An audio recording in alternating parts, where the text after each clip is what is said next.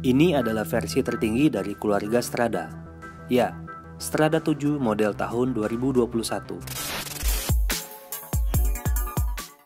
Ya, setelah bertahan selama beberapa tahun, seri tertinggi Strada dipegang oleh Strada 8. Untuk versi terbaru ini, Polygon merubah strategi dengan menjadikan Strada 7 versi tertinggi. Tentu saja spesifikasi yang disematkan tidak boleh main-main. Bahkan jika dibandingkan dengan versi tahun sebelumnya, Strada 7 ini masih lebih tinggi dari Strada 8. Memang apa saja yang berubah sehingga Strada 7 ini layak menyandang versi tertinggi di keluarga Strada? Ini dia. Frame di sektor ini, Polygon masih mengandalkan material terbaiknya yaitu aluminium ALX 6061 dengan proses hydroform. Namun, yang berbeda adalah merancang ulang geometri frame untuk semua seri Strada, termaksud Strada 7 ini.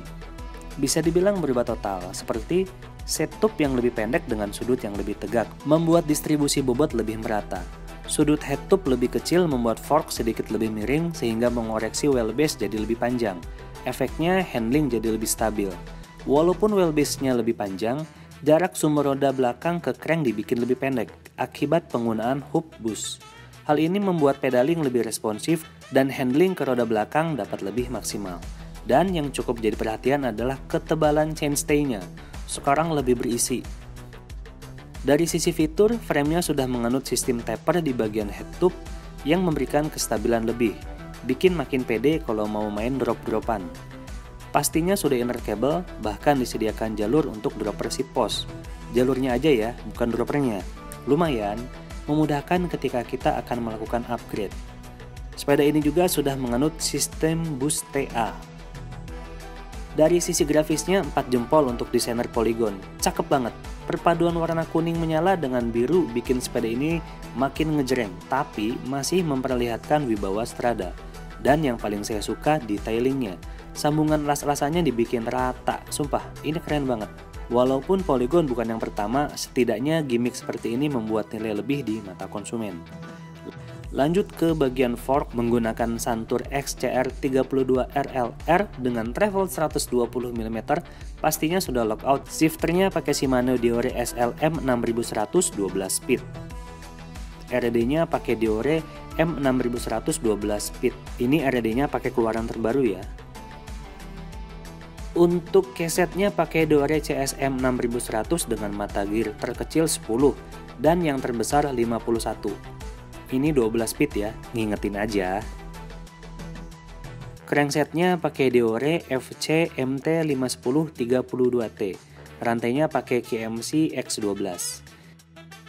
Sistem pengeremannya menggunakan brake set cakram hidrolik dari Shimano BRM 201. Ini sama dengan yang terpasang di Strada 6.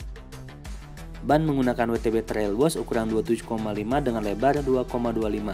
Juga tersedia ukuran ban 29 inch untuk frame ML dan XL.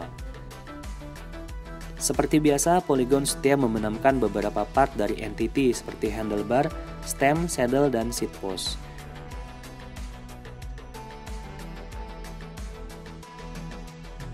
Dengan semua spesifikasi tersebut, Polygon cukup percaya diri untuk menyematkan harga 10 juta Lumayan jauh ya selisihnya dengan Serada 6. Kesimpulannya, Serada 7 ini memang layak didaulat sebagai Serada tipe tertinggi. Penggunaan geometri baru, penambahan 12 speednya, kualitas komponen yang digunakan, dan juga didukung grafis yang oke punya.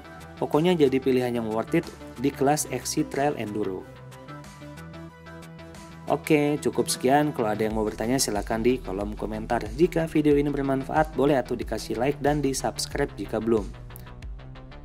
Selalu pakai masker, jaga jarak, lakukan kebersihan tangan, dan semoga kita diberikan kesehatan selalu. Salam gue